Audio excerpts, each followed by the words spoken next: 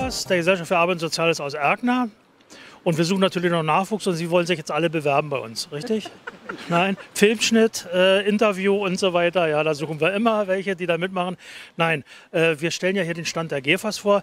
Äh, ist Ihnen die GEFAS denn eigentlich schon bekannt? Bisher noch nicht, sagen der wir mal Name so. jetzt nicht, aber die einzelnen Genau, die Einrichtungen denn hatten wir schon so mal. gemacht wird wie die Schuldnerberatung oder die Tafel, das kennt man schon. Genau. Aber dass es jetzt alles so zusammen ist, Das war uns das bisher noch nicht bekannt. Genau. Warum, warum sind Die GEFAS in Rüdersdorf. Also ich bin so ein bisschen, glaube ich, die Schuldige daran mit. Nein, ich bin, nein, ich bin nur die Vermittlerin. Schuldig war ich nicht. Schuld war sicherlich daran, dass es mit dem vorherigen Träger äh, gewisse Auseinandersetzungen gab. Ich, ich bin in der Gemeindevertretung und äh, dass wir darüber wirklich in der Gemeindevertretung, in der Gemeindevertretung überlegt haben, wie, wie soll es denn weitergehen? Und da war der naheliegende Gedanke, weil ja äh, die GEFAS ohnehin oder weil Rüdersdorfer ohnehin auch schon den Ergner in der GEFAS teilweise Leistungen in Anspruch nehmen, dann zu sagen, warum können wir nicht äh, hier eine Verknüpfung hinbekommen? Die räumliche Nähe ist ja mehr oder weniger da. Das ist ja nun näher als nach Fürstenwalde oder nach Besko oder sowas. Ne? Ja, und so ist dann der Gedanke entstanden, dass wir äh, da erstmal angefangen haben zu zu, zu, zu prüfen, was geht, zu miteinander zu reden, zu prüfen, was geht. Und seit 1. Januar hat äh, die GEFAS halt jetzt in Rödersdorf die Tafel, die Kleiderkammer und die Möbelkammer äh, mit unter ihren Fittichen. Und ich glaube, da sind wir auf einem guten Weg, dass das für die Rödersdorferinnen und Rödersdorfer von Vorteil sein wird. Gibt es auch, gibt's auch schon eine qualitative äh, Verbesserung bei den Einrichtungen hier? Ja, ja, also gibt es auf jeden Fall. Gerade in der Tafel sind die Öffnungszeiten wert, die Qualität der An die Angebote sind reichhaltiger geworden und äh, ich denke in, in der Kleiderkammer hoffe ich auch, dass es sich äh, etwas äh, auch wieder entwickelt. Es ist ja auch ein Stückchen auch wie gesagt in der Außenwirkung schon äh, besser geworden. Also ich glaube, ähm, wir haben einen Haufen Probleme noch vor der, vor der Brust mit unseren Standorten. Dafür werden wir aber auch Lösungen finden. Also ich, es, es ist schon spürbar und ich denke, äh, das wird sich auch weiterentwickeln. Es ist aber so ein Thema, wie wir eben merken, ne? viele, viele, viele wissen es gar nicht. Ne? Das ist auch immer schwer, das ist auch immer schwer, äh, tatsächlich dann äh, die Informationen an die Menschen rüberzubringen. Ja? Also das ist, glaube ich, so ein Hauptproblem, mit dem wir hier auch kämpfen, wie überall. Und Deswegen stehen wir ja auch hier. Ne? Genau, genau, das ist genau Sinn und Zweck, ja. Von der, mhm. Ja, äh, wie sehen Sie die Entwicklung in der Kleiderkammer? äh, unterschiedlich, sagen wir mal so. Äh, am Monatsanfang geht es noch, zum Monatsmitte wird es schon stottrig und zum Monatsende ist es auch nicht so. Aber die Sachen, die wir kriegen, die werden gewaschen, die werden repariert und die werden für einen kleinen Obolus äh, an die Leute weitergegeben. Ja. Mach- Machen Sie auch so Änderungen? So in Erkner, die machen ja auch Änderungen an Kleidungsstücken und, und, und äh, Ausbesserungen und so. Machen Sie was auch? Ja, machen wir zum Teil, haben wir das auch gemacht. Zurzeit nicht, weil uns die Nähfrauen fehlen, aber äh, man weiß es nicht. Überall Ja. fehlen uns Helferinnen und Helfer. Wir suchen unbedingt ehrenamtliche Mitarbeiterinnen, Mitarbeiter für die Tafel in Rüdersdorf, für die Möbelkammer in Rüdersdorf, vor allem Fahrer, Kraftfahrer, die die tollen Autos fahren können und natürlich auch für die Kleiderkammer. Also bitte, wir suchen dringend, dringend ehrenamtliche Helferinnen und Helfer. Ja, einen wunderschönen guten Tag, äh, GEFAS Filmclub. Ähm, Sie hatten uns gerade kurz außerhalb des Films vorgestellt und wir wollen einfach mal fragen, was, was präsentieren Sie hier? Sie ist die Chefin. Wir sind der Rüdersdorfer Umweltarbeitskreis, den es seit, seit der Vorwendezeit gibt und der sich in Rüdersdorf seitdem nachhaltig für gesunde Luft, ähm, sauberes Wasser und äh, Artenschutz und ähnliche Themen einsetzt. Ähm, da muss ich mal mein Kompliment ausdrücken, denn ich kenne Rüdersdorf noch vor der Wende und hat sich wirklich deutlich verändert. Es ist grüner. Aber doch, da, gerade in den Anfangsjahren hat der RUAG ja sehr viel dazu beigetragen, dass die Zementwerke mehr berücksichtigt haben damals auf freiwilliger Basis, als das Gesetz vorgeschrieben hat. Also da waren unsere Vorgänger sehr eifrig. Gut. Äh, wie viele Mitglieder sind Sie hier im, im äh, Verband? Wir sind, ich müsste jetzt lügen, sind's Wir sind sehr 20? klein. Nee, nee, sind wir nicht. Äh, Wir sind sehr klein und sind etwa aktuell 13, Tendenz 15 Mitglieder. Und Freiwillige sozusagen. Genau, Helfer. und Unterstützer, wie Sie zum Beispiel, die sehr engagiert sind, aber nicht im engeren Sinne Mitglied. Ähm, und haben Sie hier auch irgendwo ein Büro oder, oder wie sind Sie ansprechbar? Wie, sind, wie findet man Sie? Man findet uns am besten per E-Mail-Kontakt, sage ich jetzt mal. Ja? Wir sind ja alle beruflich etc. stark eingebunden, äh, familiär und versuchen einfach einen Teil unserer Zeit dieser guten Sache zu widmen. Und ähm, das Beste ist, wenn man uns kontaktieren will, will uns über unseren E-Mail-Kontakt zu kontaktieren und dann zu gucken, genau, wir haben auch wohin das Interesse geht. Wir haben auch eine Facebook-Seite und auf der Facebook-Seite findet man uns über Rüdersdorfer Umweltarbeitskreis. Das wäre jetzt meine Frage mit, der, mit der Adresse. Aber dann, teilen wir eben auch zum Beispiel unsere Aktionen oder sinnvolle Informationen, wie man selber zum Beispiel auch im Garten was für die Natur machen kann, um mehr Bienen, Insekten anzulocken oder auch Vögel. Da findet man uns sozusagen in den sozialen Medien. Dankeschön. Ich wünsche Ihnen dann viel Erfolg in Ihrer Arbeit und einen äh, massenhaften Zulauf an neuen Mitgliedern. Ja. Gut. Danke. Gleich kann man reinkommen blau-weiße Weide, da auf die Bühne.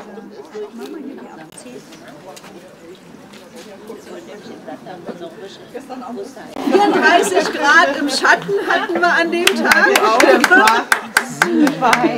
Und äh, das muss man dann erst Die Rüdersdorfer Frauen-Selbsthilfegruppe Krebs eröffnet eine gemeinsam mit der Fotogruppe Rüdersdorf erarbeitete Fotoausstellung, in der unter dem Thema Gemeinsam stark jedes Foto eine andere Situation im Befinden der Betroffenen darstellt. So zum Beispiel Verzweiflung, Hoffnung, Lebensfreude, Zuversicht, Kampfeswille, Lebensmut und vieles mehr. Ja. An Sie und die ganze Gruppe. Danke. Also ich wünsche uns allen, dass wir noch mit ganz vielen Ideen durchs Leben gehen, dass wir als Gemeinschaft, auch als Selbsthilfegruppe wachsen mit uns zusammen und möchte diese tolle Fotoausstellung eröffnen und danke allen Beteiligten. Zum Wohl. Zum Wohl. ja. Und dann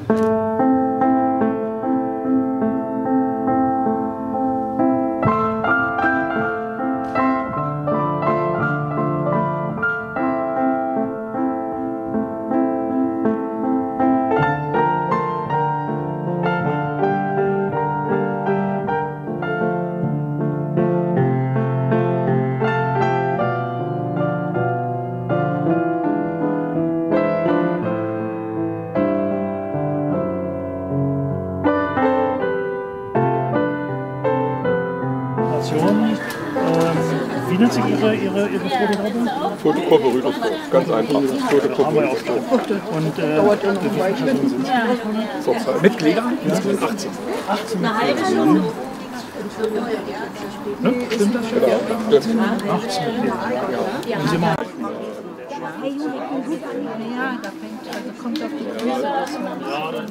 Frau Preuß, Pflegebrücke Rüdersdorf. Was können wir uns darunter vorstellen? Pflegebrücke ist eine Seniorenpflege mit einem vielfältigen Angebot. Wir haben einen ambulanten Dienst. Wir befinden uns hier vor der Tagespflege.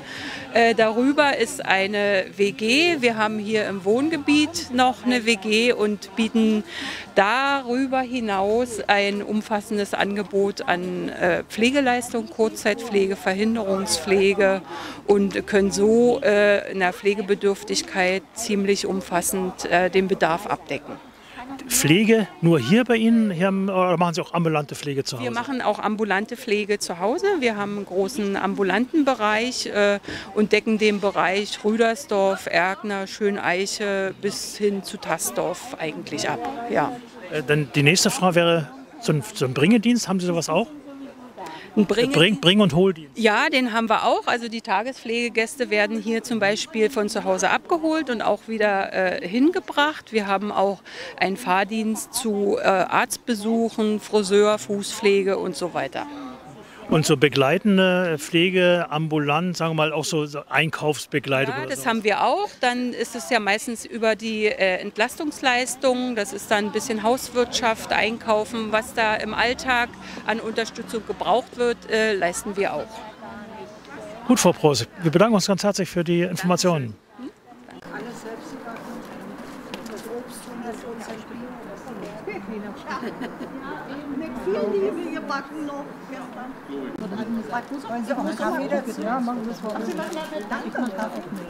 Donnerstag kommen Sie auch.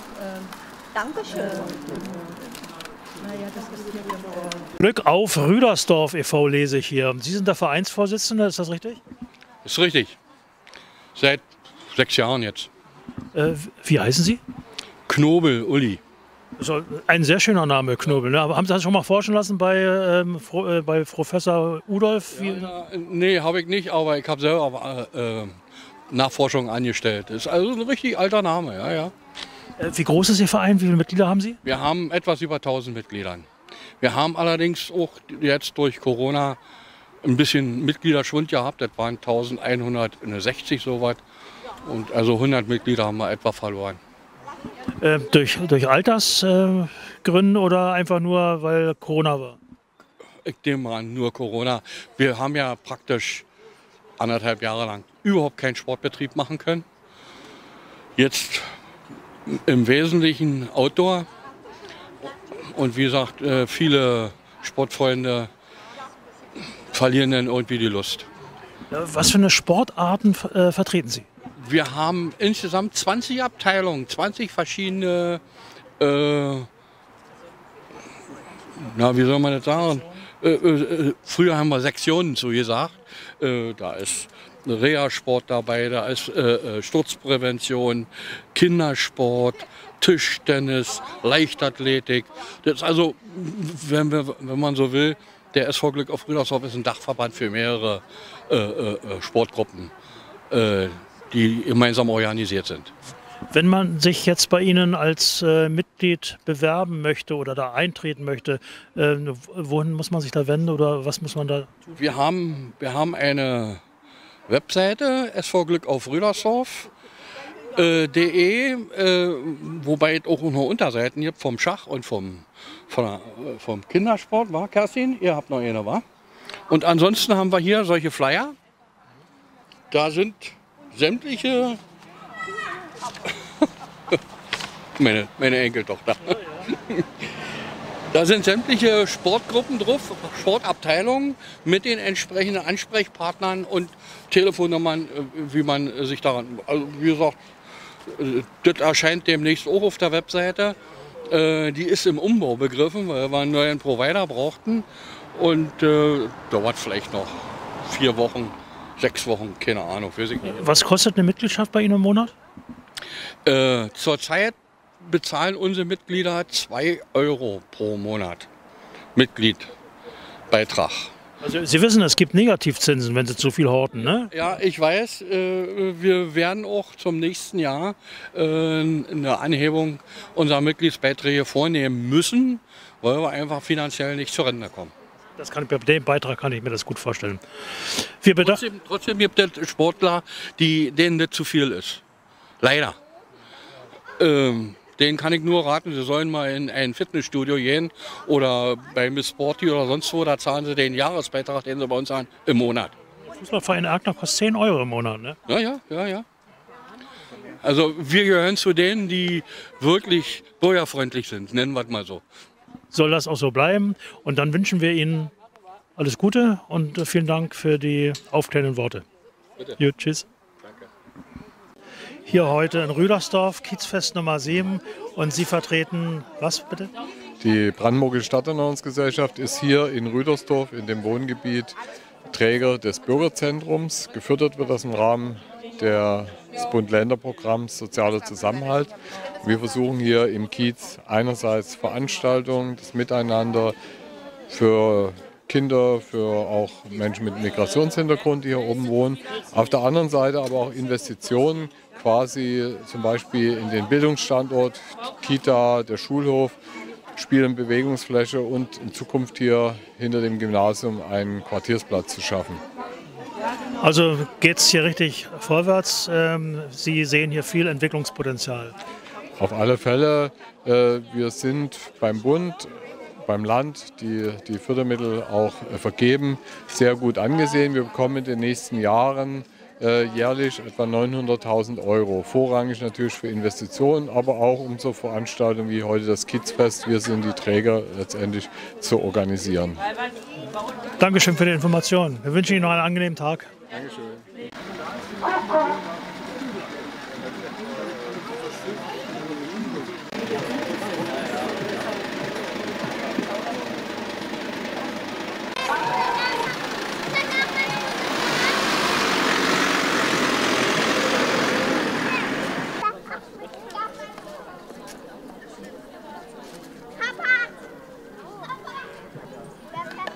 uns jetzt an der Adlerapotheke, Nein, richtig? an der Brückenapotheke. Wir befinden uns jetzt an der Brückenapotheke, meine lieben Zuschauer, meine Damen und Herren.